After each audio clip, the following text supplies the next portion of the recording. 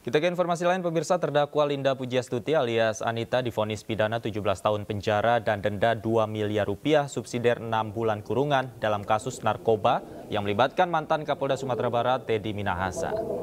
Majelis Hakim Pengadilan Negeri Jakarta Barat menilai Linda telah terbukti melakukan tindak pidana menjadi perantara dalam jual beli menukar dan menyerahkan narkotika golongan satu bukan tanaman yang beratnya lebih dari 5 gram. Linda dinilai terbukti melanggar pasal 114 ayat 2 Undang-Undang Republik Indonesia nomor 35 tahun 2009 tentang narkotika junto pasal 55 ayat 1 ke 1 KUHP. Putusan ini lebih ringan daripada tuntutan jaksa penuntut umum yang menginginkan Linda dihukum dengan pidana 18 tahun penjara dan denda 2 miliar rupiah subsidiar 6 bulan kurungan.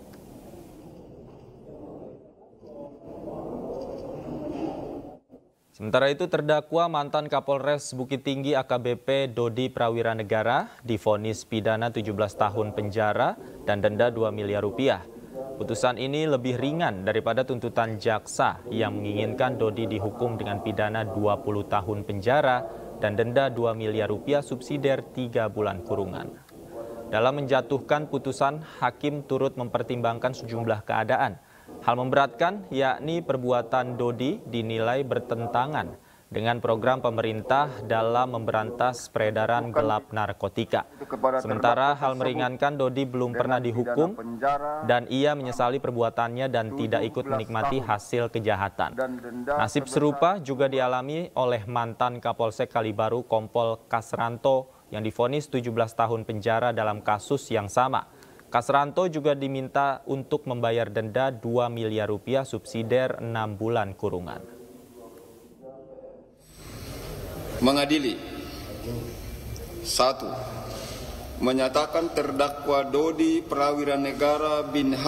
Maman Supratman telah terbukti secara sah dan meyakinkan bersalah melakukan tindak pidana turut serta melakukan secara tanpa hak atau melawan hukum, menjadi perantara dalam jual beli, menukar atau menyerahkan narkotika golongan satu dalam bentuk bukan tanaman yang beratnya melebihi 5 gram.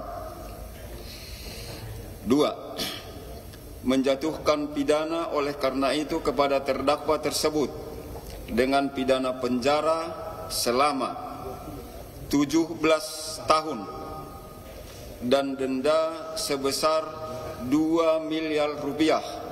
Apabila denda tersebut tidak dibayar, maka diganti dengan pidana penjara selama 6